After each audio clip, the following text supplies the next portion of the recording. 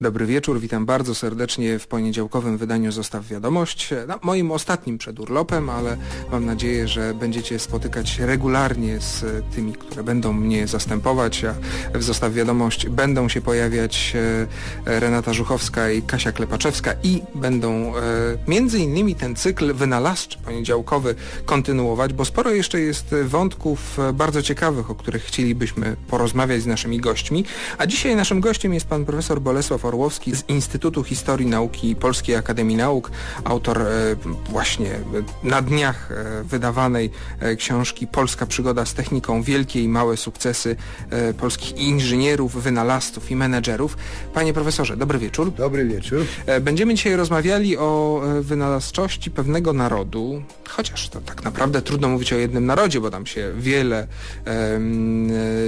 wiele grup zmieszało i wiele grup wchodzi wchodzi e, w ten jeden organizm, który też jest bardzo niejednolity, ale skoro mówimy o Chińczykach, e, to tak naprawdę mamy wrażenie, że będziemy mówili o jakiejś e, taniej produkcji, o e, często rzeczach, które są e, niedopracowane, produkowane masowo, tanie, łatwo dostępne, a w końcu to nie jest to, co powinno się nam najbardziej kojarzyć z Chinami. Takie są Chiny dzisiejsze, Chiny XXI wieku, zalewające tanią produkcją resztę świata. Ale Chiny mają swoje ogromne zasługi. No tak, Chiny to właściwie jest jakby inna planeta, bo przecież to było tak daleko, zwłaszcza w starożytności było tak daleko, że nawet mówiono, że Chińczycy znani z wyrobów, a nie z twarzy. Mhm. Tak o nich mówiono, kiedy, kiedy dostarczali, oczywiście za pośrednictwem całego łańcucha pośredników, jedwab. Szlakiem jedwabnym, który tam działał już w starożytności, pod koniec dawnej ery. Mhm. I docierał jedwab z Chin na wybrzeża Morza Śródziemnego. No i był bardzo drogi oczywiście, no bo droga była długa. I wtedy myślano tam w, w świecie śródziemnomorskim, że, że jedwab to jest jednak rzecz pochodzenia roślinnego. Mhm. Nie zdawano sobie sprawy z tego, że są takie zwierzątka. Dopiero o tym Pauzaniasz pisze w II wieku. Ale Pliniusz na przykład sądził, że to jest włókno jakiejś rośliny. Tak to było wtedy. A było to bardzo drogie, bo jak wiemy z przekazów, Marek Aureliusz e, skarżył się, że e, nie stać go na kupno sukni swojej żonie, a był jednak bądź co bądź cesarzem rzymskim, prawda, więc etat miał nie najgorszy. No pytanie, co to za suknia miała być, bo może nie był to zwykły kawałek, zwykła sztuka jedwabi. Ale nawet, no to dla cesarza. Panie profesorze, ale zacznijmy od tego, skąd w ogóle te Chiny, bo y, my kojarzymy taki ośrodek myśli, cywilizacji z kulturą śródziemnomorską. Tutaj wiele powstawało. No bo tutaj powstały podstawowe rzeczy dla naszego rozwoju i to naszego nie tylko w tym sensie, że my tutaj gdzieś niedaleko sami żyjemy i, i żeśmy się rozwijali, a również dlatego, że w pewnym momencie Europa narzuciła reszcie świata siłą właściwie swój sposób życia i swoje rozwiązania. I do tej, do tej pory to trwa właściwie w jakiejś mierze, mimo tam różnych prób mówienia, że każda kultura jest taka sama, równowa tak, równoważna, tak, tak, takie tak, różne tam rzeczy, to... prawda?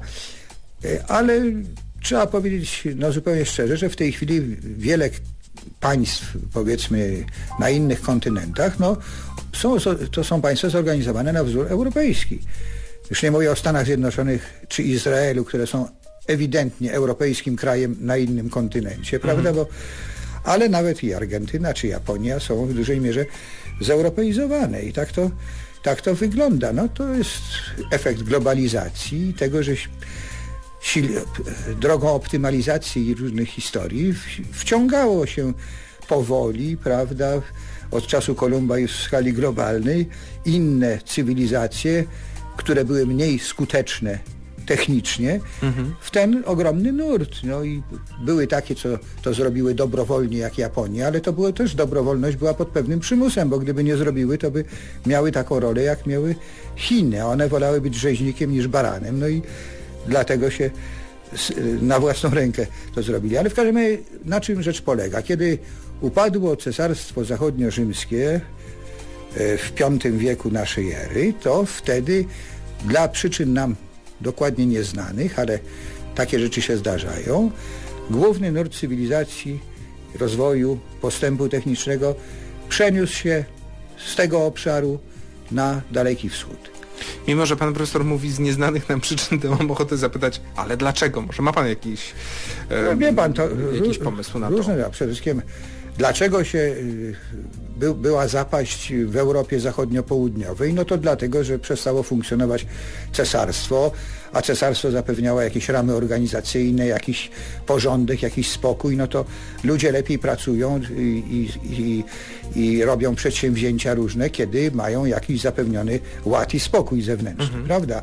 A tu się wszystko zatomizowało, jedni drugich ciukali, prawda, jakiś coś barbarzyńcy chodzili i szukali sobie dobrego miejsca.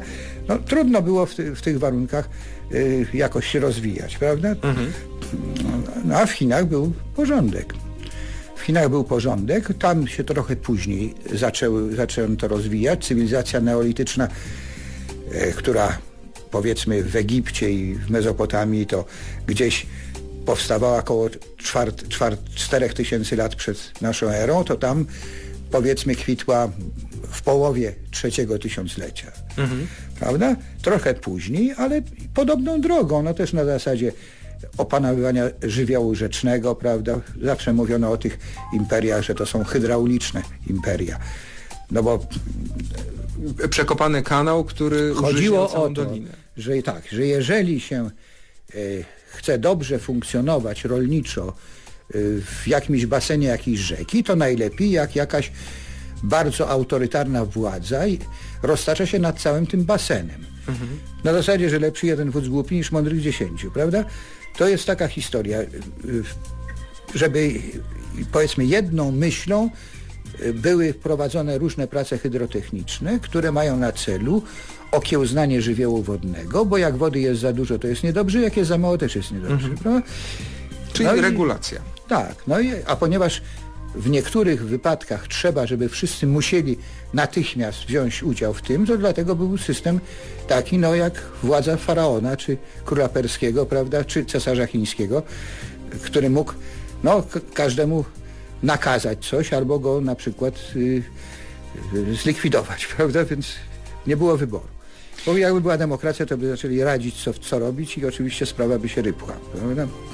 No i rzeczywiście na kilka wieków po upadku e, cesarstwa no, Ja myślę, że nawet koło tysiąca lat.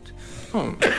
Bo chociaż y, na zachodzie, mm, w stosunku do Chin oczywiście mówię na zachodzie, w krajach islamu i w krajach, no i w Bizancjum y, próbowano jakby kontynuować cywilizację rzymską, Natomiast y, wynalazczość tam właściwie prawie wygasła. Jedyną rzeczą, którą ta była, to jest wiatrak, o którym tam żeśmy sobie kiedyś mówili, prawda? która tam się pojawiła z takich ważnych rzeczy, no może jeszcze ogień grecki w Bizancjum. No właśnie, co z tym ogniem greckim? Co to za ogień grecki? No to była mieszanka, powiedzmy, piorunująca, która w zetknięciu z wodą szczególnie y, się zapalała. No to jest taka, oczywiście opowieść na ten temat jest na zgodna z jakimś melodyką tamtych czasów, że anioł przyniósł to pewnemu tam człowiekowi, który e, oczywiście udostępnił to Bizancjum, żeby się broniło. No oni likwidowali floty arabskie i, i tych różnych waregów, którzy ich najeżdżali. No, to jest no, dosyć interesująca sprawa, ale to, to z Chinami to ma niewiele wspólnego. No tak, ale ciekawy, ciekawy wątek, ale wróćmy rzeczywiście do Chin. Chiny będą miały spory wkład w wynalazczość. Zresztą, kiedy czyta się e, takie książki jak Kwiaty śliwy w złotym wazonie, to jest jedna z takich bardzo tradycyjnych, starych e, powieści, to widzimy, że to życie Chińczyków było nieźle zorganizowane, że oni wtedy, kiedy myśmy jeszcze biegali e, po lasach, to oni już całkiem nieźle sobie mieszkali całkiem nieźle sobie sobie żyli. No my w sensie, my Polacy. No, tak. Tak, to oczywiście. No, pierwsza drukowana książka w Chinach y, pochodzi z 868 roku. To jest czasy przedmieszkowe, prawda? Chińczycy mieli y, spore zdolności, jeżeli chodzi o e, farbowanie tkanin. No, zajmowali się tą produkcją tekstylną e, przed wieloma wiekami. Tradycja jest długa, jednym słowem. E, ale co z tym jedwabiem? Czy to rzeczywiście było takie, był taki motor i, i tyle osób mogło w, tej, w tym przemyśle jedwabniczym? No, przemyśle jak przemyśle, ale może warto o tym porozmawiać, bo jednak no, w pewien sposób wykorzystywano pewną mechanizację do tego, żeby... No tam była jakaś odwijarka w jedwabiu z kokonów mechaniczna już w Chinach działała. W każdym razie raczej to wszystko polegało przede wszystkim na pracy wielu ludzi na mhm. pewno, prawda, i na pewnej racjonalizacji. No ale ten monopol był jednym z ważnych monopoli chińskich i został dopiero przełamany w V wieku, kiedy dwóch czy może w szóstym, nie, w szóstym wieku chyba. Tak, tysiąc, w 530 roku. 30 tak, tak, kiedy dwóch mnichów irańskich przyniosło do Bizancjum, y, do Konstantynopola y, w swoich kosturach schowane jajeczka jedwabnika i zaczęto tam wtedy produkować. Y, później to Arabowie rzeczy zaczęli uprawiać, między innymi na Sycylii, w tych terenach zajętych, prawda, w wielkim pochodzie Arabów, który się wtedy od, od, nasilił się właśnie w VIII wieku, ale mhm. przecież oni, oni aż do Hiszpanii doszli przez północną Afrykę. No i później Europejczycy też, ale dopiero gdzieś w XIII wieku czy w XII to zaczęli y, hodować te y, y, jedwabniki i, i, i tym się zajmować. Ale Chińczycy zrobili bardzo dużo różnych rzeczy, bo na przykład nowoczesny zaprzęg konny. Mhm. To jest wynalazek chiński i główną, głównym elementem tego było homonto, który mniej więcej tam z V wieku jest. Do Europy dotarło w VIII-IX. Homonto jest bardzo ważną rzeczą, bo przenosi obciążenie na barki konia, nie dusi konia. Zaprzęg starożytny dusił konia i dlatego konia można było wtedy używać tylko do lekkich wozów, między innymi dlatego koła stały się szprychowe. Mhm. Tylko Żeby właśnie w celach militarnych go używano, ale i tak y, zaprzęg starożytny pozwalał wykorzystać około 20% siły i szybkości konia.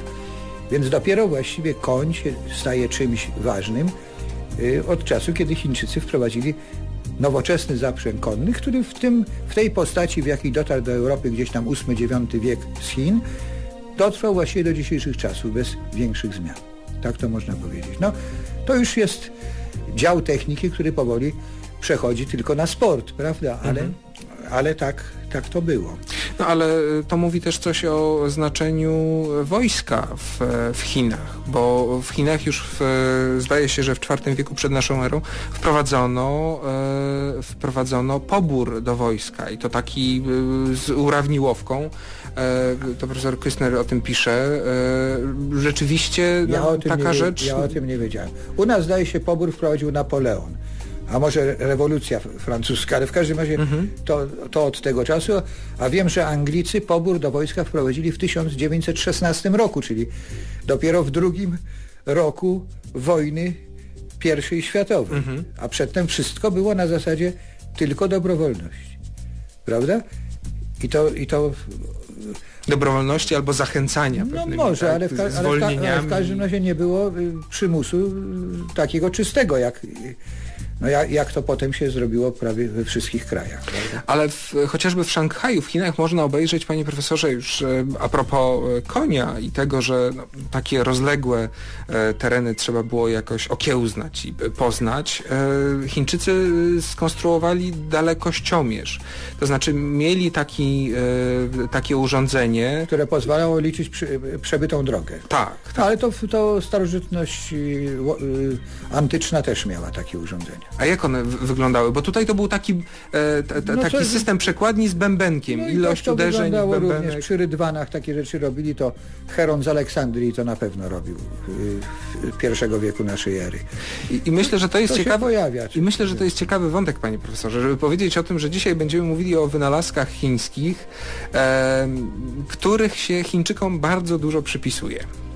No tak, ale... Chyba ale, znacznie więcej niż oni wynaleźli. Ale to jest też, bo jest taka moda, żeby Chińczykom przybyć. Zresztą niedawno taka wyszła książka, którą bardzo krytykowałem w, w nowych książkach, w której właściwie tak jak Daniken wszystko przypisuje kosmitom, to tam wszystko przypisano Chińczykom. Mhm. Jest to, w tym dużo przesady. To się bierze z tego, że cesarz Shi Huangti y, z końca III wieku, który postanowił, że on będzie pierwszym cesarzem chińskim, więc kazał spalić archiwa, przy okazji trochę uczonych, którzy protestowali, prawda? To co pewien czas mhm. są takie pomysły, że lepiej spalić archiwa. Y, zwracam uwagę, one i, teraz się zdarzają. No więc y, zachować tylko pozwolił y, rzeczy dotyczące praktycznych y, spraw, czyli medycyny, rolnictwa i wróżbiarstwa, prawda? Mhm. Bo to były rzeczy ważne dla aktualnego życia. No i potem jak ten cesarz upadł po pewnym czasie i odtwarzano tą całą rzecz, no to odtworzono więcej niż było wcześniej. Mhm. Także wszystkich zainteresowanych odsyłam, żeby sięgali do książki Josefa Nidama. To jest wielotomowa rzecz, która się nazywa Science and Civilization in China. I to właściwie jest jedyna rzecz, której można wierzyć w pełni, bo on nie przesadza i opiera się na e, chińskich przekazach e, naukowo opracowanych. E, on tam był wrzeniony w Chińczyków i w ogóle ogromna ilość współpracowników chińskich była przy mhm. powstawaniu tego. To jest rzecz, no, której można wierzyć. No, z tymi Chińczykami to jest pewien problem, bo oni przez pewien czas mawiali światu, że Wielki Mur Chiński to widać nawet z, z kosmosu. No. no. podobno z Księżyca by było widać, gdyby przez teleskop oglądać.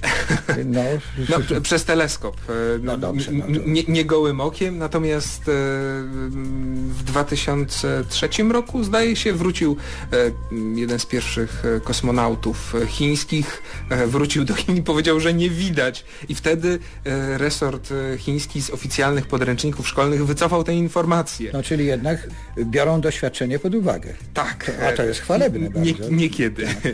niekiedy. No, o, o murze też może warto powiedzieć, bo wiecie Państwo, że istnieje teoria, jest wiele teorii na, na temat dlaczego upadł Rzym, mhm. prawda? Jest tam ze 17 takich ważniejszych, ale jedna jest, że właśnie Wielki Mur Chiński, który właśnie ten cesarz Shi Huangti zapoczątkował w 214 roku przed Chrystusem, a który, no powiedzmy, ostateczny kształt nabrał w XVI wieku mhm. i który ma długość co do której nawet dzisiaj mamy wątpliwości. Chińczycy podają, że prawie 6 tysięcy kilometrów, a, a Nidam właśnie mówi, że z odgałęzieniami ponad 6 tysięcy, a zasadnicza rzecz to niecałe 4 tysiące. Mhm. Ale w każdym razie, że ten mur spełnił takie, taką rolę, że y, nie pozwalał małym tabunom tych nomadów z północy y, zakłócać życia w Chinach. Oczywiście wielka armia mogła przełamać ten mur, czy mhm. zdobyć bramy, które były nieliczne i mocno strzeżone. Ale normalna grupa takich paru tysięcy ludzi, jeżeli nawet przeszła przez mur, to musiała zostawić konie, a bez koni Mongołowie byli dużo mniej groźni. A jeżeli nawet przeszła z końmi, to wracając już była łapana, prawda? Czyli mur jednak bardzo opóźniał tą sprawę, w związku z czym w następnych stuleciach Mongołowie przestali się zapuszczać na Chiny i woleli atakować na zachód. I, i pchali przed sobą inne, y, że tak powiem, ludy. Mhm. I Hunowie wypchnęli Germanów, wepchnęli w granicę Cesarstwa Rzymskiego, zachodniego i przypieczęte mówiąc, koniec tego cesarstwa. Oczywiście były dodatkowe jeszcze przesłanki, tam cesarstwo było bardziej skostniałe, zbiurokratyzowane, mniej wynalazczości było u barbarzyńców. I barbarzyńcy wynaleźli mydło, barbarzyńcy wynaleźli beczkę, yy, strzemie, prawda, różne takie rzeczy, które się potem okazały bardzo przydatne. Mhm. No proszę pamiętać, że Rzymianie nie mieli mydła. Zupełnie, prawda? Skrobali się. Skroba, oliwą się nacierali, skrobali się, to było jednak mydło to jest bardzo dobry wynalazek, prawda, bo ono y, przejmuje wszystkie bruta, wo, wodą można spłukać. No. To zdaje się Galowie wynaleźli, czy Celtowie wynaleźli. Ktoś tam, kto buszował po zachodzie Europy wtedy, prawda. Y, więc to dosyć, dosyć jest wszystko interesujące. Z tym murem też kto wie, czy nie jest cząstka prawdy, że że zbudowanie tego muru, prawda, na zasadzie takiego efektu, jak tam efekt skrzydeł motyla gdzieś tam mhm. daleko, prawda, z pewnym opóźnieniem wpłynęło na właśnie kłopoty Cesarstwa Rzymskiego. Dzisiaj w Zostaw Wiadomość rozmawiamy o wynalazkach, o wynalazkach chińskich, a naszym gościem jest pan profesor Bolesław Orłowski. E, Chińczycy zasłużeni między innymi papierem. E, papier to był wynalazek, który mam wrażenie, że dużo zmienił. No, pozwolił e, łatwiej rozmaite rzeczy zapisywać, przechowywać, transportować. E, w związku z tym no, taki e, sposób przenoszenia informacji e, sprawiający, że no, można też i lepiej trochę zarządzać tą całą masą ludzi, która no, Pierwszy materiał, na którym się pisało, który był relatywnie tani prawda? Bo papirus trzeba było sprowadzać z Egiptu, mhm. bo gdzie indziej go nie było. Pergamin to trzeba było zabijać no, małe zwierzątka i robić to z ich skóry, nawet pewnie z nienarodzonych to robiono, więc to ileś tam trzeba było małych cielaczków czy coś y, wykończyć na jedną książkę, prawda? Mhm. Więc pergamin był drogi. I nawet w średniowieczu, jak spisywano ważne umowy, to na pergaminie, bo na byle co pergaminu nie było, prawda? Mhm. No, a Chińczycy wynaleźli papier, nawet wiadomo kto wynalazł. Taki eunuch Cailun, yy, no, zatrudniony na dworze cesarskim, jakiś tam ważny gość, on tam kierował robotami publicznymi, czy coś dalej, no, tak to było wtedy, że... Pierwszy wiek. Przedstawiciele, tak, tak. S, nie, 105 rok, wynalazł, czyli początek, początek drugiego, drugiego wieku. wieku tak. tak. Więc y, no papier, on tam oczywiście jest przechowywany w Chinach, taki moździerz, którym on tą pierwszą masę y, jakimś tam no tak, ucierał. Tak, no, to na tak. pewno jest ten pierwszy. No, może w Chinach to może nawet i być. W każdym razie tam i stare sieci rybackie w to wchodziły i najrozmaitsze y, rzeczy. No też obecnie ze szmat się robi. Dobry papier, prawda? Mhm. No i ten papier też zaczął wędrować na zachód i wiemy dokładnie, jaka droga była y, do utracenia monopolu chińskiego w tej dziedzinie. To w 751 roku Chińczycy się spotkali z Arabami, którzy się rozprzestrzeniali wtedy właśnie y, w Turkestanie i była bitwa nad rzeką Tałas i i y, Arabowie pobili Chińczyków i wzięli do niewoli iluś tam ludzi, którzy umieli ten papier robić. Zabrali ich do Samarkandy najpierw, potem do Bagdadu i w końcu wieku VIII właśnie Arabowie zaczęli produkować papier chińską metodą, nauczeni przez nich i potem to wędrowało wzdłuż północnej e, Afryki aż do Hiszpanii i dopiero w XII wieku z Hiszpanii się zaczęło rozprzestrzeniać na Francję i sąsiednie kraje. Także no u nas te pierwsze papiernie to były XV wiek mniej więcej, prawda? Wtedy, kiedy i druki powstały, chyba 1474 kalendarz na ten rok, to jest pierwszy druk polski, prawda? A, a druk też Chińczycy wynaleźli. Ale panie profesorze, ale w X wieku Chińczycy mieli... E, Papier, papierowe pieniądze. Papierowe pieniądze. A, I karty do gry. I karty do gry. Ta, I wizytówki. I wizytówki, co wydaje się już prawie bezeceństwem w czasach, kiedy... Zwłaszcza y, no, na zachodzie obchodzono w 1969 roku tysiąclecie właśnie wprowadzenia kart do gry. To u nas wtedy było tu niemile widziane, bo to było burżuazyjne przez mhm. z trudem zgodzono się na związek brydżowy w Polsce, prawda, na jego oddział. No ale e, cóż, e, może ważniejsze były pieniądze niż karty. Pieniądze o określonym terminie ważności. Ja nie wiem nawet jak to było z tym terminem. W każdym razie wiem, że Chińczycy e, no, e, wzorując się na, na pieniądzach e, w postaci monet, wiadomo było, że jeżeli jakiś król ma dużo monet, mhm. wybił, no to ma dużo pieniędzy, prawda? Bo moneta była, kruszec był zawarty. Mhm. Oni to przenieśli bezpośrednio na papier i w związku z tym drukowali tych banknotów ile tylko się dało. Obecnie wiemy, że to nie jest dobry pomysł, ale wtedy oni nie wiedzieli. No i zrobiły się straszne inflacje, przeszły przez państwo chińskie i je, jego okolice właśnie gdzieś tam w XII wieku. Prawda? Czyli czy, wszystkiego się trzeba nauczyć kiedyś. No, No my to jeszcze w XX mieliśmy takie Nie, no, problemy ale to, ale to jest już albo, albo, dowód, wagę. albo dowód pewnej y, no, niekompetencji tych, kto to robią, albo złej woli, bo czasami inaczej nie można. No, czasami, żeby wyjść z kryzysu, trzeba zrobić albo wojnę, albo coś takiego, prawda? No, No wo- wojna też potem była. no to, Ale wracając do e, banknotów, e, podobno straszne kary były za, za fałszowanie. no, za fałszowanie były, ale bez fałszowania przez za duże zadrukowanie takich papierków, no to były też, też kłopoty z tym. No i papier, cóż, no Trzeba go było czymś zadrukować. Tak, no więc kwestia druku. Jeśli chodzi o druk, to na początku to były jakieś zaklęcia modlitewne, religijne, takie rzeczy, które się rozszerzały, albo obrazki święte, prawda? Buddyści szczególnie w, w klasztorach to robili. No i właśnie jak mówiłem, pierwsza książka 868 rok, y, później w 1041 roku y, Kowal chiński Piszeng wymyślił pojedyncze czcionki, prawda, które oczywiście w y, rzeczywistości chińskiej nie były tak ważne jak te pojedyncze czcionki, których użył Gutenberg potem w Europie, bo Chińczycy nigdy nie doszli do etapu pisma alfabety- alfabetycznego, prawda? Oni mieli ideogramy, więc to, ale też oczywiście można było te ideogramy rozmaicie ustawiać. I te trzonki najpierw były, mimo że to Kowal zrobił, to trzonki były najpierw z wypalonej gliny albo z drewna. Dopiero gdzieś tam w, w XIV wieku chyba Koreańczycy zaczęli y, metalowe czcionki. I, I tam też pierwsza książka wyszła drukowana metalowymi czcionkami. No w każdym razie to były bardzo dawne czasy i tutaj nie ma takiego bezpośredniego przełożenia. O ile papier na pewno był stamtąd, to czy druk przyszedł stamtąd, czy nie, to nie wiemy, bo przecież na zasadzie takiego odbijania z drzeworytu to u nas też robiono te kapitalne litery y, w rękopisach, y, prawda, zakonnicy odbijali sobie jakąś dużą literę inicjującą stronę, też z klocka jakiegoś, dopiero potem dalej pisali ręcznie.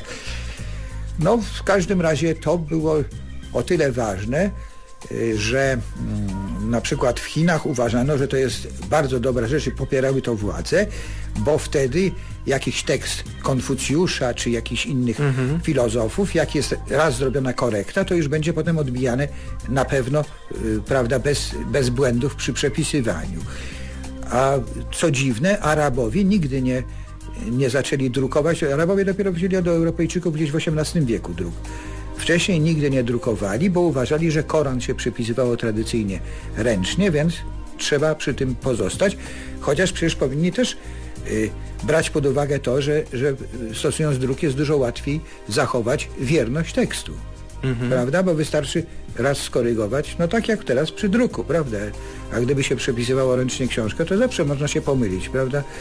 I, i, i, No, sobie- przy druku też e, Ale sk- przy sk- druku- skończyły się czasy ale- errat, no dobrze, ale- bardzo powszechnych. Ja robię osobiście i, i domagam się tego, chociaż nie zawsze udaje mi się to przewalczyć, bo czasami są siły silniejsze ode mnie, które mi nie pozwalają tego zrobić, ale No, Ale błędów w książkach jest mniej niż w latach 80. czy ja wiem, błędów, błędów jest sporo jednak w tej Błędów chwili. literowych. Tak, literowych. No ale y, błąd literowy to jest taki błąd, który każdy sobie bez trudu wie o co chodzi. Dużo gorzej jest jak błędy są na przykład w datach, bo wtedy y, już nie każdy wie, prawda? No, A wiele można rzeczy, wynieść z tego wiedzę. Wiele rzeczy, które ja pamiętam osobiście, to dla wielu młodych ludzi dzisiaj są tak, tak mniej więcej oddalone, jak dla mnie było oddalone powstanie styczniowe, prawda? Więc tu się można zawsze... Yy, t- ja zawsze uważam, że najbardziej trzeba dbać o rzetelność tekstu właśnie yy, jak to się pisze na przykład dla dzieci, yy, czy dla czytelnika w ogóle mało yy, yy, krytycznego, prawda? Bo bo to lepiej zrobić błąd duży w, w jakimś naukowym artykule, bo wtedy wszyscy to będą wiedzieli, że to jest po prostu literówka, prawda? A tutaj można czasami, no... Przyjmie to czytelnik za dobrą monetę. Tak, kogoś zmylić, no po prostu. Ale jeszcze dwa zdania należą się książkom chińskim. E, książkom, które najpierw były w postaci zwojów. E, No to wszędzie były książki najpierw w postaci Mhm. zwojów, prawda? Potem wiadomo, ta książka, o której wspominałem, Jedna z książek y, tych pierwszych to była zrobiona tak, że wydrukowana była na długim pasie papieru po jednej stronie, a potem składana w harmonijkę i te wewnętrzne strony niezadrukowane były sklejone ze sobą. Tak, tak oni to robili. Ale formę kodeksu, czyli tego książki takiej, jaką dzisiaj wiemy, to, to już w, w cywilizacji śró- śródziemnomorskiej też znamy gdzieś tam od pierwszego czy drugiego wieku naszej ery. Bo to To, chi to chiński wynalazek czy nie? nie, no a wie pan, są, są wynalazki, które robiono Niezależnie. niezależnie, bo przecież to są, to są dosyć proste wynalazki. To człowiek nawet nie wie, że zrobił wynalazek, pewnie czasami, bo wydaje się to tak logiczne. A może warto byłoby się udać z tym do urzędu patentowego, chociaż tam to można utknąć na ładnych parę lat. No, w urzędzie patentowym bywa rozmaicie, bo pamiętajmy, że Watt musiał y, zrobić przekładnię planetarną, bo ktoś opatentował korbę jakiś cwaniak. Aż dziwne, że w naszych czasach tego nie robią w naszym drapieżnym, drapieżnej wersji kapitalizmu, bo przecież można by było by opatentować coś, co nie było patentowane, bo jest znane od tysięcy lat i to poddaje I pod, na pod rozwagę takim, co umieją z tego skorzystać. Mam nadzieję, że dostanę z 1%. Niektóre rzeczy Chińczycy podarowali e, sobie tylko, bo nie zabraliśmy od nich tych e, wynalazków, albo Arabowie ich nie przenieśli do Europy, ale były też takie, które można uznać za dobrodziejstwo e, dla świata. No bo taki kompas no to jest rzecz nie do przecenienia. Ja nie wiem, czy kompas był dobrodziejstwem dla świata. Można było dyskutować. Z europejskiego punktu widzenia tak, bo świat się stał europejski. Ale ta cała reszta miała z nami niezłą... No tak. e, tak Z niezły problem. kompasem. No więc y, y, znajomość własności igły magnetycznej to jest chyba nawet koniec dawnej ery w Chinach. Z tym, że wtedy mm, posługiwano się nią w celach wróżebnych, tak zwanej geomancji, czyli żeby ustalić w jakich miejscach budować domy, czy tam groby, o takie różne historie. E, Natomiast y, mm, Mówi taki, pan o igle magnetycznej, a ja igle. myślę o rybce magnetycznej. no tak, no więc y, pierwszy kom, pierwsze kompasy to były takie chińskie już używane do celów no, określania stron świata, to były takie, że rybka pływała w, w naczyniu z wodą, prawda? To też ustawiała się wtedy dosyć na zasadzie swobodnej, prawda, w, w odpowiednim kierunku.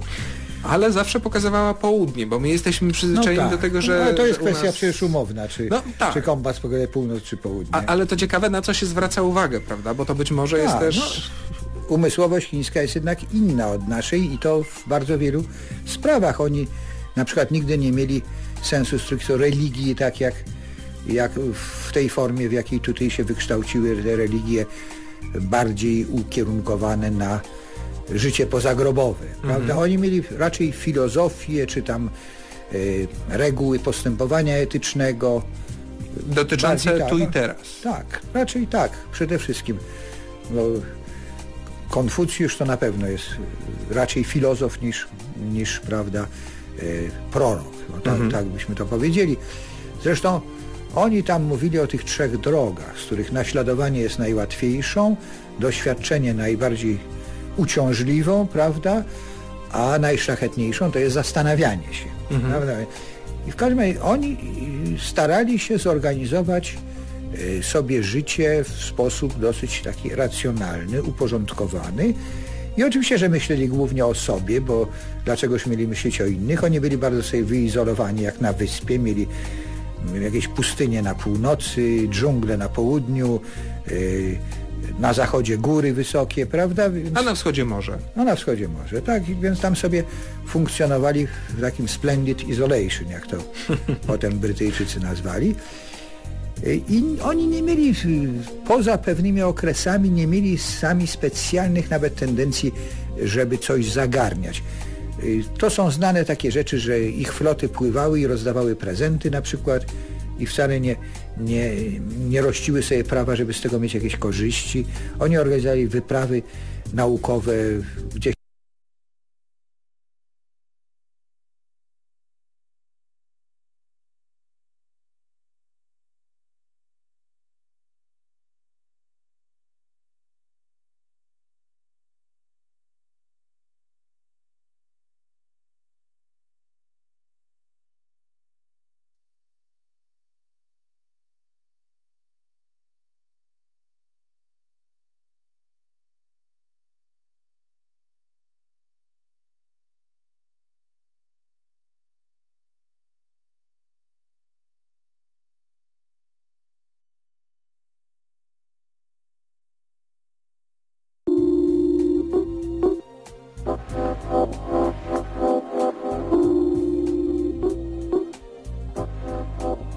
własne sprawy. Panie profesorze, ale siarka plus saletra plus węgiel drzewny plus smoła sprawa, plus tak. pokost, no i mamy wynalazek. prochu. Czyli na pewno nie Bertolt Brecht, nie Bertolt Brecht wynalazł proch, jakiś tam zakonnik, prawda, w, w, w 1313 roku. Raczej to może dotyczyć armaty, prawda, jeżeli w ogóle ma jakiś związek z rzeczywistością. Ale Chińczycy posługiwali się prochem, proszę Państwa, od dawna, czy mieszankami prochopodobnymi, nazwijmy to tak, bo wtedy, kiedy używano pierwszy raz kart w 969 roku, to również y, robiono fajerwerki. Ognie sztuczne wypuszczano. W tym samym roku na dworze cesarskim. Zwana też u nas ogniami bengalskimi. No to może dlatego, że może w Bengalu też to znali, bo różne... Broń rakietowa stamtąd poszła. To jest w ogóle sprawa bardzo długa i zawiła. Otóż Chińczycy w celach militarnych, o ile wiemy, zastosowali po raz pierwszy yy, proch, kiedy bronili Kaifengu, to jest zdaje się 1232 czy coś takiego, w każdym razie trzyna, początek XIII wieku i wtedy między innymi używali rakiet. Rakieta się wykształciła w Chinach w sposób naturalny, można powiedzieć, z zapalającej strzały, bo strzały były bambusowe, napychano je tą właśnie tym prochem, zapalano i wystrzeliwano z łuku. I potem zobaczono, że taka strzała, normalnie strzała wystrzelona z łuku leci najpierw szybko, a potem coraz wolniej. Otóż te leciały coraz szybciej, bo odrzut gazów z tej dziurki w bambusie, prawda, bo bambus jest dziurawy w środku, no i w tak doszło do wynalezienia chińskiej strzały, bo tak nazywano to w krajach arabskich, czyli rakiety. Y, Wiemy, że ta rakieta była użyta y, przez Arabów y, przeciwko krzyżowcom w Palestynie. No i, że tak powiem, zrobiła dużo zamieszania, prawda? Bo to jest taka broń, która Zresztą jeszcze pod Grochowem, później, kiedy w Europie używano rakiet, to y, polska półkompania rakietników pieszych y, spłoszyła konie i doprowadziła do załamania się szarży kawalerii rosyjskiej. Czyli konie nie lubią takich świszczących rzeczy, prawda, jeszcze dymiących i tak dalej. prawda? Ale i ludzie też nie bardzo lubią. Czyli rakieta to była też wynalazkiem chińskim i ona właśnie tam gdzieś na wschodzie y, długo istniała, bo do Europy ona parę razy docierała. Między innymi później było tak, że pod koniec wieku XVIII y, Hindusi, którzy walczyli przeciwko Brytyjczykom w Indiach, dwukrotnie ich mocno pokiereszowali rakietami i wtedy taki e, oficer angielski Congrave, zresztą później generał i dowódca arsenału Woolwich, tego największego arsenału angielskiego, to właśnie wprowadził nowe rakiety, i które weszły do użycia w czasach napoleońskich. Między innymi Kopenhagę spalono w 1807 roku takimi rakietami, używano ich przy oblężeniu Gdańska w 1813. Także w napoleońskich wojnach używano już rakiet znowuż. Potem one znowu zanikły i potem odżyły wtedy, kiedy Niemcom traktat wersalski y, odebrał y, wiele możliwości zbrojeniowych i dopóki oni tego traktatu względnie przestrzegali, czyli zanim Hitler doszedł do władzy, no to szukali innych rozwiązań, bo nie mogli mieć ciężkiej artylerii, dużych okrętów, lotnictwa wojskowego i tak dalej, więc zaczęli kombinować, żeby wyciągnęli z lamusa rakiety. I zaczęli z tym działać. Był taki Dornberger, oficer, później generał, no i on właśnie znalazł młodego studenta jeszcze wtedy fizyki von Brauna, z którym zaczął działać i ten von Braun okazał się człowiekiem, no, który w sumie później najpierw wynalazł V2, z czego się tłumaczył później tak, że oni myśleli o rak- rakiecie międzyplanetarnej, on ze swoim zespołem tylko padała na niewłaściwą planetę, prawda? No, tak to można powiedzieć. A potem no, opracował rakietę Saturn, która wyniosła y, statek Apollo na, no, na Księżyc, prawda? I, I można powiedzieć, że 25 lat po V2 zbudował coś, no co jest jednak najwa- najważniejszym wydarzeniem chyba XX wieku było. Coś to posłużyło Tak, ludzkości, a jej nie niszczyło. No ale jak jesteśmy przy tym strzelaniu, to za chwilę zajmijmy się e, armatami, bo to no będzie bardzo ciekawy wątek. Armatami o pewnym kształcie, który... No Chińczycy mieli podobno jakieś tam armaty z bambusu i tak dalej, ale to nie miało dalszego ciągu. Chociaż jest taka mm, wersja, że w Skandynawii są takie rakiety o takim kształcie gruszkowatym, które Chińczycy mieli właśnie jakieś.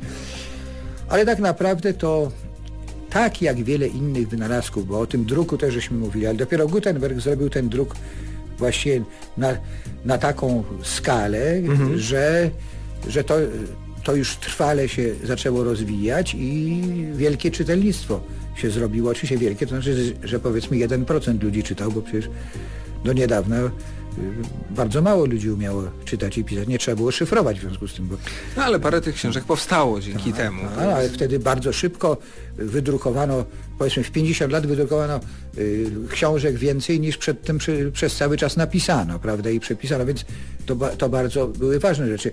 Ale to samo było i z prochem. Y, Chińczycy go wynaleźli, ale dopiero Europejczycy zrobili z broni palnej coś, co dało im wyraźną przewagę nad tymi, którzy tej broni palnej nie mieli. I po, na początku wieku XIV y, no, pojawiają się armaty w różnych miejscach. To możemy, mm, czasami wiemy to o tym z traktatów, które pisali, na przykład William Millimet pisał taki y, traktat, y, Anglik, trochę czasami z rachunków za proch w różnych miejscach. W każdym razie używano takich dział i y, przez przypadek również użyto ich w polu, bo na, na ogół do strzelania w bramę albo w mur, prawda, żeby rozwalać to. Y, natomiast pod Crécy w 1347 roku Anglicy, którzy zostali zaatakowani niespodziewanie przez duże siły francuskie, mając trzy armatki, które wlekli ze sobą, żeby coś tam oblegać, użyli tych armatek w polu. Więc dosyć przypadkowo, ale jest to bardzo wa- ważna data, bo artyleria później jednak zrobiła no, bardzo dużą karierę wojskową, można powiedzieć. Dużą i krwawą 2100 to zostaw wiadomość w polskim Radio Euro. Do chińskich wynalazków e, można by zaliczyć system dziesiętny e, i taki rodzaj e, posługiwania się e, cyframi, czy nie? No jeżeli to, to równolegle, prawda? To nie, nie tak, że my, myśmy mieli swoją drogę do tego systemu. I zero się u nas wzięło z Indii raczej niż z Chin. W końcu zostawmy coś i Hindusom, No, prawda? tak. O, o, oprócz buddyzmu, Prawda leży którego się pośrodku. pozbyli No. po pewnym czasie. Tak, ale Chińczycy ten buddyzm kupili na długi czas. No ale ten system zapisywania dziesiętnego, czy to nie jest ich zasługa? No, mieli wiele takich rzeczy. Yy, wie pan, yy, powiedzmy, oni tak postępowali, że mogliby bez nas się obyć i też yy, no, byli jak na osobnej planecie, prawda? Ale też nie szukajmy, że wszystko oni, bo oni wydali się taczki na przykład z takich rzeczy. Kusze mieli podobno wcześniej niż my. O takie różne rzeczy tam były. Soczewkę? Soczewki tak, też. Y, Soczewki, w każdym razie, y, czy soczewki mieli wcześniej od nas, to nie jestem pewien, bo Arab al-Hazen też używał soczewek w X wieku. Natomiast na pewno używali wcześniej okularów, bo Marco Polo widział ludzi w okularach w Chinach.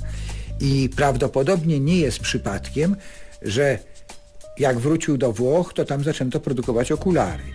Chociaż Włosi twierdzą, że wynalazł je Alessandro de Spina. No, ale tak gdzieś tam na, w 1301 roku, a, Marco Polo widział tych Chińczyków w okularach w- w 1270 mniej więcej roku, więc w 1301 już w Wenecji można było sobie kupić okulary. Z tym, że proszę pamiętać, że to były okulary y, dla dalekowidzów, dlatego, że takie były bardziej potrzebne, bo powiedzmy człowiek o normalnym wzroku y, na starość zaczyna, że tak powiem, mieć kłopoty z czytaniem, bo, no bo staje się dalekowidzem. Więc kiedy właśnie zaczęto w Europie y, drukować książki i to czytelnictwo się rozwinęło, to i oczywiście okulary się upowszechniły, ale okulary dla krótkowidzów to jest dopiero połowa XV wieku. O, to, o, ile, wie, o ile wiemy na podstawie no, przekazów. bo one były mniej potrzebne. Oczywiście krótkowidze zawsze byli, ale, ale nie w takiej masie, prawda? Nie. Tak to można powiedzieć. Tutaj jest też niewątpliwie jakiś ten wkład chiński y, prawdopodobnie bezpośredni. A czasami nie wiemy, czy coś przyszło przez Arabów, czy coś przyszło yy, na przykład przez Mongołów, bo tak też może, może być. Atak gazowy pod Legnicą, który jest prawie yy, ewidentny, to robili jednak Mongołowie, prawda? I to, to Atak było... gazowy? Tak, no tam jest wyraźnie jakimś dymem zatruwali tych y, przeciwników, prawda? Ale może to był y, taki sposób palenia czegoś. W, no, w, ale taki, żeby, żeby, żeby otumanić przeciwnika, więc coś, coś takiego tam było. Y, natomiast właśnie tak jak mówimy, że dróg nie, nie szedł przez Arabów, bo oni go nie lubili, to yy, też z kompasem nie było tak, bo, bo wiadomość o użyciu kompasów przez żeglarzy arabskich jest mniej więcej o 100 lat późniejsza niż europejskich. Mhm. Bo w Europie jest chyba 1190 pierwsza wiadomość, a Chińczycy zaczęli to robić, o ile pamiętam, w 1117 jest pierwsza wiadomość o tym, że chyba w kantonie y, używają takich rzeczy, jak jest tam ciemno i deszcz pada i tak dalej, to właśnie kompasu się używa. A proszę zwrócić uwagę, że proch i kompas to były podstawowe rzeczy, które pomogły y, zrobić nie tylko y, epokę wielkich odkryć geograficznych, a epokę no, podbijania kolonii. Bo dzięki kompaso, kompasowi można było mieć lepsze rozeznanie geograficzne, że tak powiem, prawda? A dzięki broni palnej no, dużą przewagę militarną, także małe grupki ludzi podbijały ogromne rzeczy. Przecież my oczywiście w tej chwili dosyć tak niechętnie mówimy o konkwistadorach, prawda? Ale przecież sposób, w jaki Cortez podbił Meksyk, no to jest przecież Y, majstersztyk, jeśli chodzi o teorię gier, bo przecież miał tam 450 ludzi, prawda, y, i parę koni, no, a walczył z armiami, które miały po 100 tysięcy ludzi, no. Więc w ogóle coś, coś niebywałego. Oczywiście po, pomogła mu ospa i tak dalej, ale, ale wtedy jednak ta Europa wyraźnie wykorzystała te wynalazki w dużej mierze chińskie. Dlaczego nie Chińczycy to zrobili, a my? Dlaczego nie zrobili tego Arabowie? którzy przecież mieli tendencję do podboju. Mhm. To jest pytanie, które oczywiście pozostanie bez takiej no, jednoznacznej odpowiedzi, ale to cały czas jest materiał do dyskusji, prawda? To, to, jest, to jest jedno z ciekawszych pytań.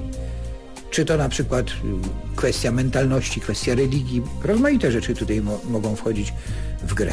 Może pewna dwulicowość europejska, że oni z jednej strony y, w celach religijnych mówili jedno, prawda, czy tam... A mieczem robili co innego a, a, a, powiedzmy mieli też drugą stronę tego y, swojego y, działania, prawda?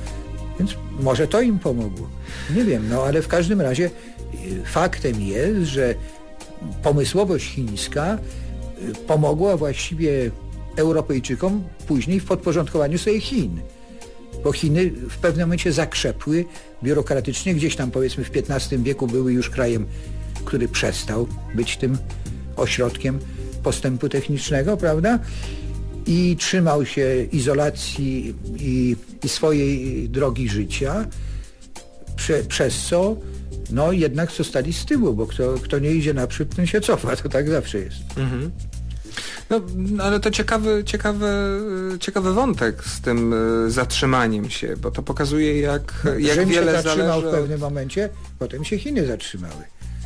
No tak. My się te, też te, kiedyś zatrzymamy, się... a może już żeśmy się zatrzymali, biorąc Właśnie... pod uwagę różne rzeczy, które się dzieją. Pytanie o, o technologię, to pytanie, czy już się nie zatrzymaliśmy, bo, bo pytanie, gdzie się teraz e, różne rzeczy pojawiają i, i, gdzie się kładzie nacisk na wynalazczość. No jeszcze stale y, główny nurt płynie jednak w Stanach Zjednoczonych, myślę.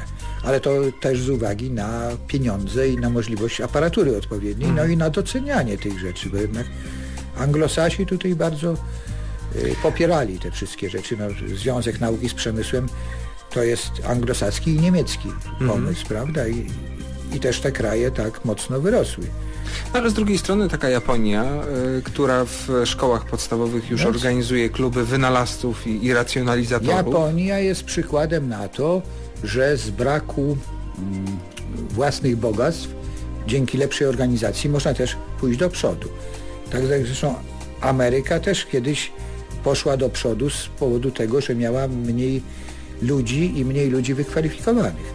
Mhm. No na przykład y, strzelba z części zamiennych musiała tam powstać, prawda? A dlaczego? Dlatego, że, że tam nie było rusznikarzy. I, a strzelba była potrzebna, a jechać 100 km bez strzelby, żeby naprawić strzelbę, to zły pomysł, prawda? Trochę niebezpieczne. Tak, więc trzeba zrobić części zamienne. Wtedy każdy głupi potrafi to jeżeli wymienić. nie sam potrafi, to ma sąsiada, który mu to złoży, prawda? Ale czy, czy to znaczy, że jakimś przekleństwem Chińczyków było to, że było tak wielu ludzi i, i tania była praca i można było e, wykorzystywać ja ich be, bez zaprzęgania technologii? No, to powiedzmy, to, to może zbyt pochopny sąd. Poza tym Chińczyków nie było też tak wiele wtedy. Przecież jakiś spis, o którym oni mówią, już nie pamiętam z jakiego czasu, ale z dawnych czasów bardzo, chyba koniec starożytności, pierwszy spis w Chinach, to było ich 48 milionów, czyli nie tak znowu dużo więcej jak nas, a przecież kraj wielkości Europy, prawda? Mhm. Olbrzymi, więc, więc oczywiście ich było więcej proporcjonalnie niż gdzie indziej, zwłaszcza w tych miejscach, gdzie było, były tereny rolnicze, ale to też to, że Chińczyków jest tak strasznie dużo, że jak ktoś mówił, że gdyby do nich strzelać cały czas z karabinu maszynowego i każdy pocisk by trafiał i zabijał, to jeszcze by ich przybywało, no bo tak jest teraz, prawda? Koszmar. No, więc, oczywiście, no, czy ja mówię tylko zupełnie teoretycznie. No to w każdym razie to jest zjawisko zupełnie nowe, prawda? To nie jest czy oni, oni nawet, mimo to, że wprowadzają ograniczenia, jeśli chodzi o liczbę dzieci, prawda? No więc tak, tak to jest. To jest raczej zmora naszych czasów, bo już nie tylko Chiny, ale i Indie, prawda? No i to jest, to jest problem. Wyczytałem, panie profesorze, że sejsmograf należy też do wynalazków A tak, chińskich. Tak, był, był taki Chang Heng, chyba mhm. 130 coś y, naszej 132 ery. rok. Tak, tak, właśnie. Który, no to był raczej sejsmoskop niż sejsmograf. Mhm. On pokazywał tylko kierunki i, i tam natężenie takie, bo były jakieś takie smoki, które miały... Ma, mam tutaj opis, mam tutaj opis e, Jiang Heng umieścił na poziomej podstawie wazon z brązu, w którego górnej części znajdowało się osiem otwartych paszczy smoka, rozmieszczonych w równych odstępach wokół wlewu dzbana. Każda z tych paszczy trzymała brązową kulkę. Na podstawie, na której stał ów dzban, rozmieszczono rzeźbione w brązie żaby z szeroko otwartymi pyskami. Wewnątrz dzbana znajdował się mechanizm oparty na swobodnie poruszającym się wahadle. Pod wpływem drgań ziemi wahadło uwalniało kulkę z paszczy smoka, odpowiadającej kierunkowi geograficznemu, z którego nadchodziły drgania i kulka wypadała z pyska smoka i wpadała do paszczy odpowiedniej żaby, sygnalizując dźwiękiem trzęsienie ziemi.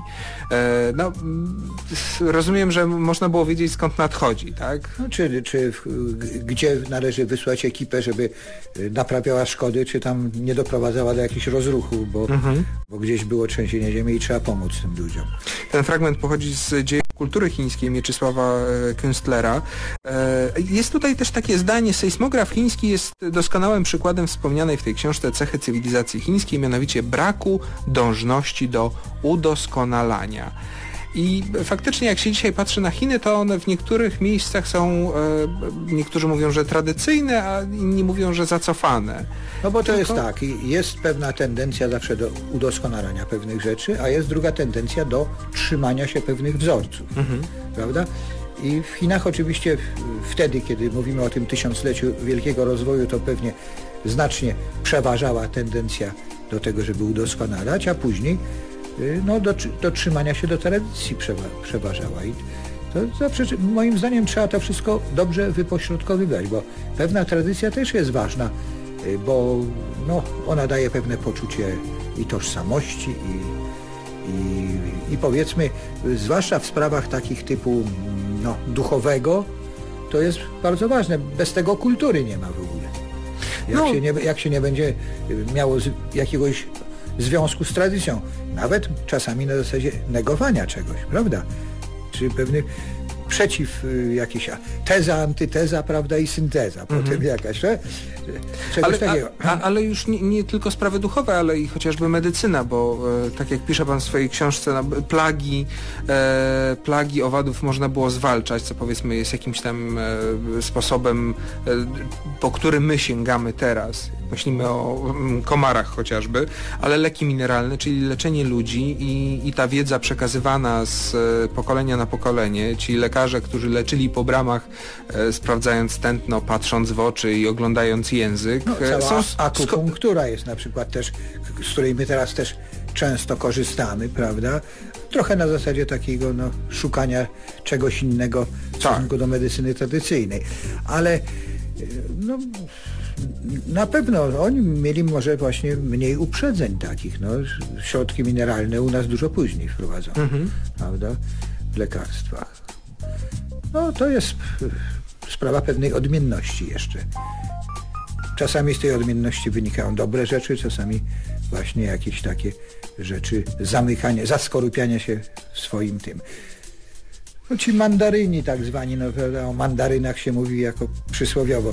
To, to było, u nich była taka historia, że takiego mandaryna wprowadzano do jakiejś sali, chyba nago nawet, i, on miał tam tylko papier i pióro z, z jakimś tam atramentem i no tak, żeby nie mógł żadnej ściągawki, prawda, przy, mhm. przynieść i siedział tam do czasu, kiedy dał znać, że już skończył pisać tą pracę na stopień mandaryna, powiedzmy. Mhm. No, także oni bardziej tutaj wtedy już na humanistykę poszli czy quasi-humanistykę. no ale egzaminy z matematyki też wprowadzali dla, dla e, Tak, ale myślę, że ci, którzy się zajęli e, naukami ścisłymi, no to jest ten słynny, e, słynny spór. Al-Ghazali powiedział, że nauki przyrodnicze nie są niekorzystne dla religii, znaczy on, on powiedział, że są, że są niekorzystne, mhm. a święty Tomasz powiedział, że nie są. Mhm. I stąd w Europie się rozwinęły i Arabowie zostali z tyłu, prawda?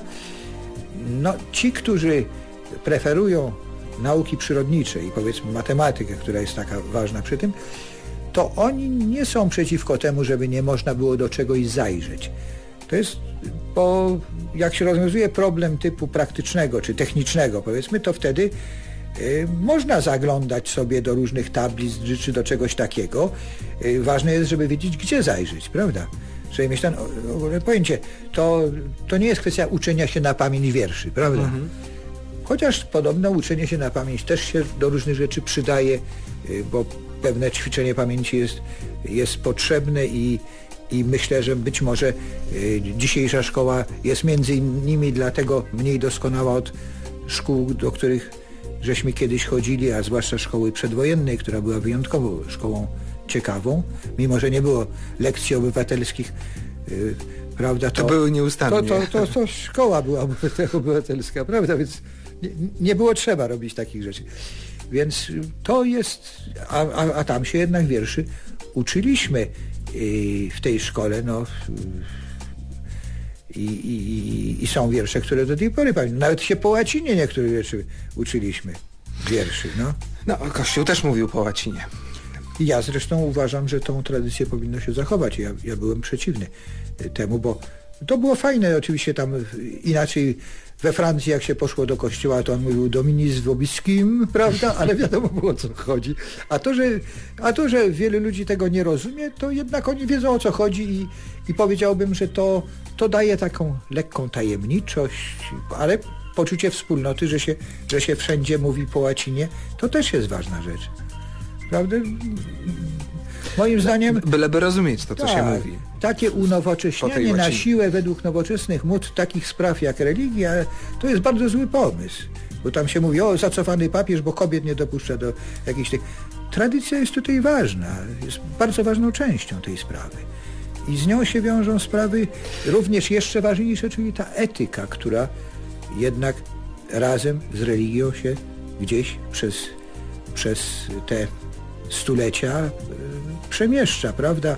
Panie profesorze, powiem tak, różnie bywa, ale to temat na, to temat na na odrębną inną audycję, oczywiście. Ale No. y, cały czas wracamy do Europy, a ja myślę, że warto byłoby spojrzeć na Chiny jako na taki ośrodek, który, bo, bo my zastanawiamy się, co myśmy od tych Chińczyków wzięli, albo co się przedostało do naszej kultury.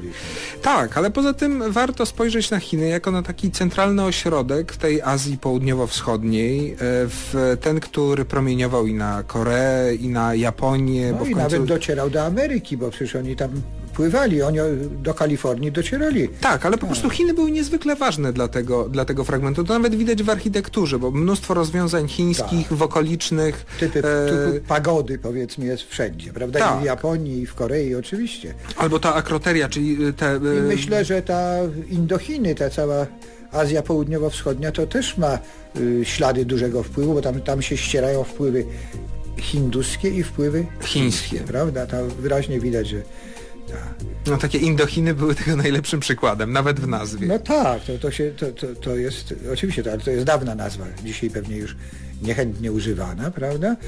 Ale tam, tam to jest bardzo ciekawy kraj. To jest z ich zabytkami najrozmaitszymi, prawda? No i historią. No i z pięknymi kobietami, które właśnie tam mają urodę taką, która jest bardziej dla Europejczyków pociągająca niż już w samych Chinach na przykład. No, panie profesorze, to jeszcze od Chińczyka zależy, skąd on jest. No tak. E, d- d- tak rozległy zresztą kraj niech i tak wiele tysiąc ludzi. kwiatów, to jest zresztą chińskie hasło. E, Chińskich haseł też dużo i to myślę, że e, też jest jakaś spuścizna tych wielu wieków, bo e, w końcu pewno. bardzo często powołujemy się na różne chińskie porzekadła, a dzisiejsze e, nasze spotkanie z e, chińską techniką kończymy. Bardzo panu dziękuję za to spotkanie. Profesor Bolesław. Orłowski był naszym gościem. Kłaniam się. Do tematu technicznego wrócimy za tydzień w poniedziałek, a ja się żegnam na no, blisko trzy tygodnie, 21 sierpnia wracam, zatem e, do usłyszenia e, wtedy, a zostaw wiadomość codziennie od poniedziałku do piątku od 22 do północy, więc nie zapominajcie o nas. Teraz serwis, a po nim nocna zmiana. Wielkie dzięki, do usłyszenia Tomasz Kosiorek. I do usłyszenia Tomasz Kosiorek. I do usłyszenia Tomasz Kosiorek. I do usłyszenia Tomasz Kosiorek. I do usłyszenia Tomasz Kosiorek. I do usłyszenia Tomasz Kosiorek. I do usłyszenia Tomasz Kosiorek.